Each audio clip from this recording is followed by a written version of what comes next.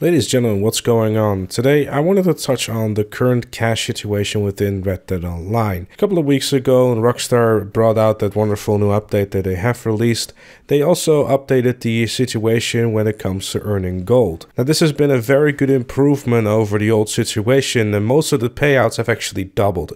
Specifically, the daily challenges and the way they've been revamped, I've been basically swimming in gold ever since. But because of that, I've kind of been lacking behind in terms of money.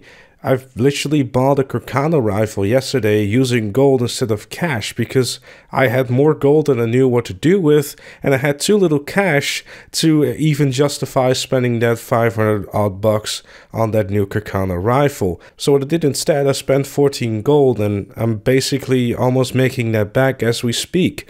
It's really that's kind of crazy at the moment when it comes to earning gold.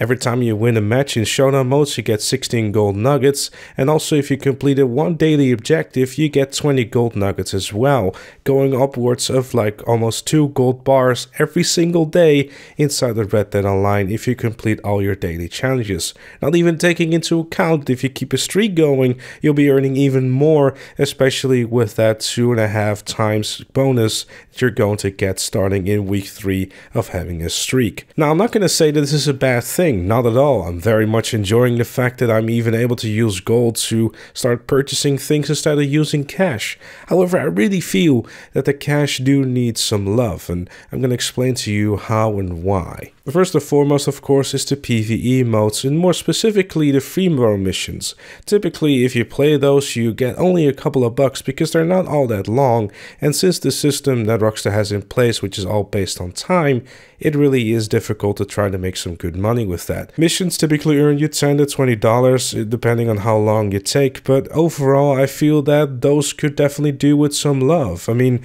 sure, the missions are definitely one of the better ways of earning XP, however, do feel that a lot of people that play a lot of PvE content should also be rewarded for it. Same thing kind of goes with team showdowns. So team showdowns, if you're someone that actually wins a match and is actually someone that also carries the team, the only reward you're getting for it is on average $15. Now also keeping in mind that if you're someone that tries to go for all their ability cards and all the upgrades for them, you're going to need a total of $900 in order to get that ability card fully ranked up to level 3. Now if you were to be sorely playing showdowns in order to get this, and I'm taking an average of $15 here because it's typically what you make inside of the team modes if you win or not, you will have to spend a total of 10 hours in order to rank up your ability card on cash alone. Obviously, that doesn't take into account the amount of XP you have to earn for two, but I feel that it's much easier to come by than the cash that you would need for it. Now, the free-for-all modes themselves I feel are fine. Those payouts are perfectly fine, and I feel that Gun Rush currently is in a very good position and should not really be touched, but arguably it's the best paying PvP mode at the moment. Now, I'm not saying that everything is too expensive, not at all. I think that the prices are in a very good place at the moment. However, all I'm really asking is a very slight buff to the payouts. I'm not asking for stuff to be doubled because the only thing that's going to happen if you do that is increase prices down the line. And not only that, people are just going to be able to get the content much quicker and cash bonuses are basically going to be not really all that interesting anymore. So, you know, event weeks are not really going to be worth going for as well. And one last thing that I kind of want to touch on, and it's probably a little bit far fetched, but I really feel that the system that they have in place currently, where everything is based on time in terms of payout, kind of really needs to be rebalanced as well.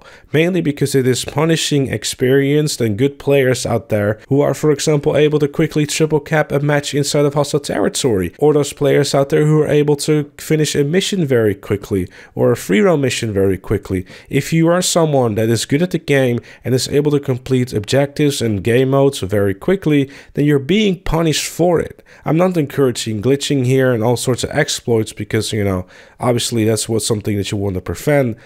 But in the end, what's really happening here is that because people are basically waiting until they can hit a certain time mark, it's not really, you know, encouraging players to get better at the game. It the only thing that's encouraging them is like, you know what? That triple cap, you know, never mind. Let's just go try and spawn trap instead, get a few extra kills and some more XP and stuff like that. Personally, what I feel is that they really should encourage players to be like, hey, it's really good of you that you're able to play this mission within three minutes instead of the, you know, seven minutes that people typically take to complete it. I really feel that stuff like that should be rewarded. And obviously, that doesn't mean as well that, for example, a mission that is normally 10 minutes and you're able to complete it in like three minutes Obviously, that payout is going to be different than from when you're having a mission, which you typically can beat in five minutes and then you complete it in three minutes as well. Like the difference in payout, I mean, I'm not someone that knows very well how to balance a game. But all I'm saying is that there should always be a reward for players out there who have put the time into the game and have become skilled at it as well. Because obviously one of the main attractions to the game is PvE content. A lot of people that came back to the game, one of the things they've been primarily doing is playing PvE content and a little bit PvP on the side.